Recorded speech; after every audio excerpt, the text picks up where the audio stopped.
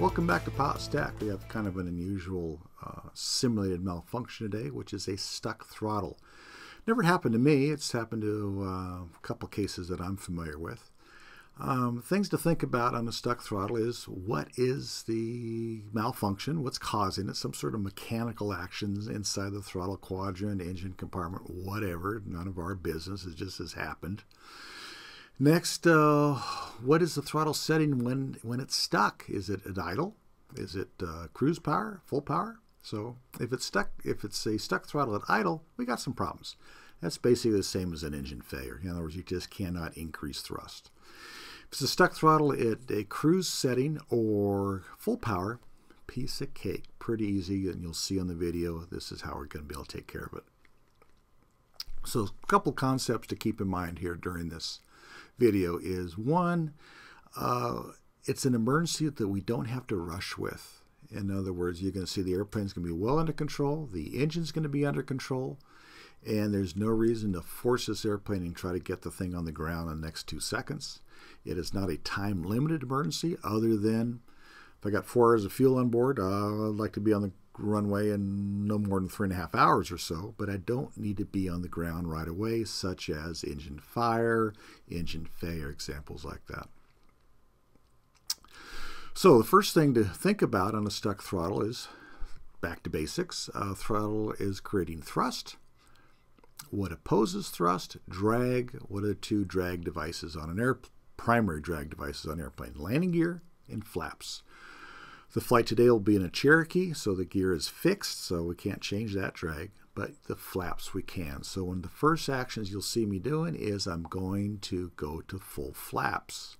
Full flaps will basically do the same thing as reducing throttle.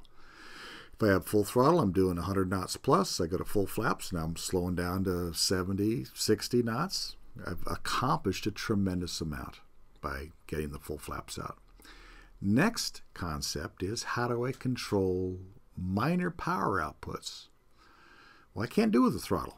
Well, what else is there? How about mixture control?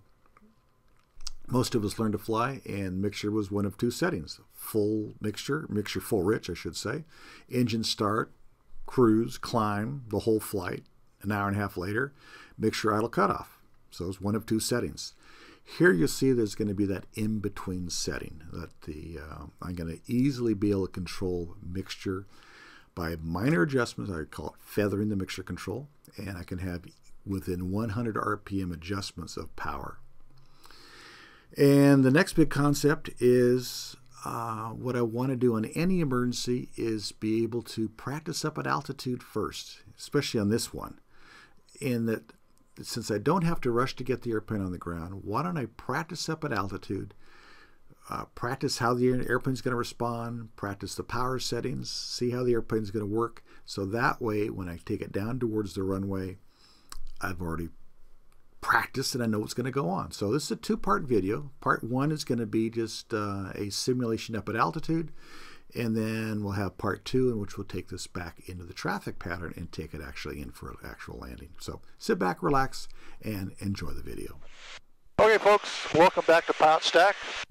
Uh, beautiful uh, California afternoon here in the early fall. Uh, we're going to run through a potential emergency simulation here. I'm in a full power climb, climbing through 4,500 feet. There's my desired altitude.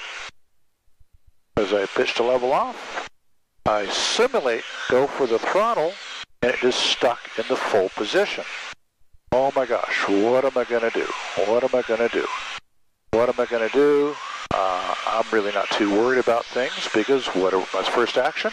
I'm just going to pitch up. Want to get myself below flap speed.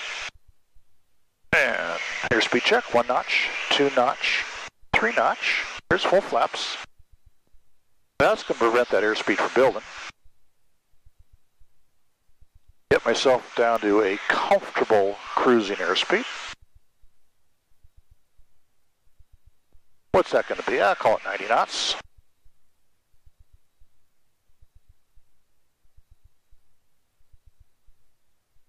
Okay, so I got plenty of fuel. Got good three, four hours of fuel left. well within airplane limitations. Don't have a lot of temperature limitations. I am at, for the Cherokee here, I'm at full forward trim. About 90 knots, and I'm just holding altitude. I go, well, how am I going to start this descent? How am I going to land it?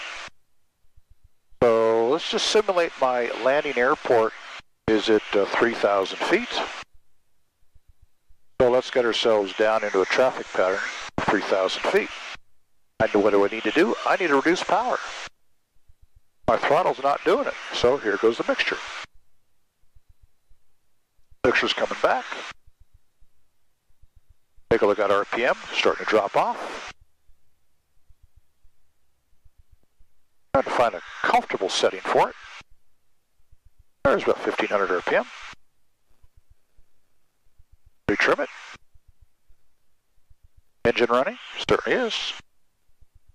Let's uh, turn off towards the north here.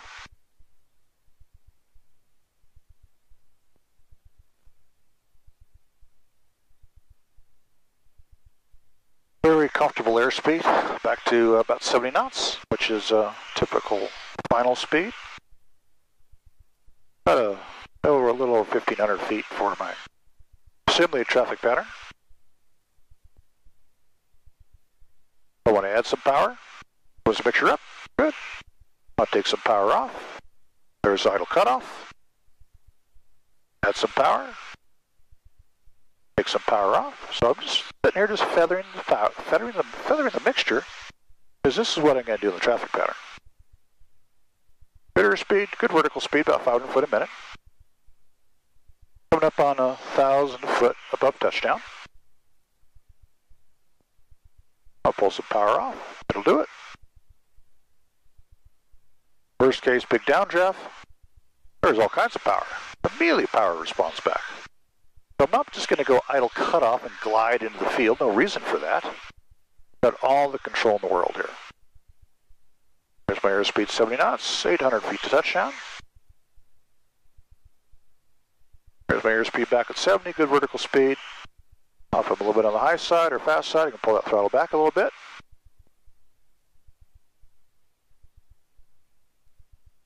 Coming up to uh, a turning final situation here, about 500 feet above touchdown.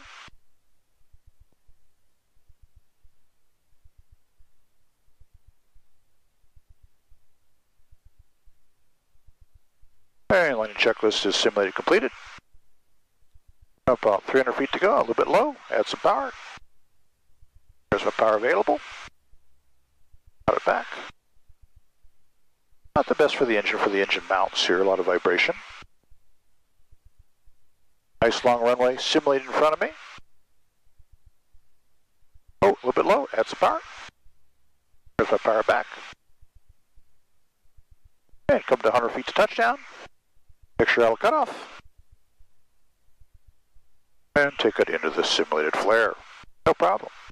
I'll recover from this. Gonna go throttle idle, make sure full rich. Power back to full. Gonna climb out. Simulation complete. So, something else to add to that pilot stack of knowledge.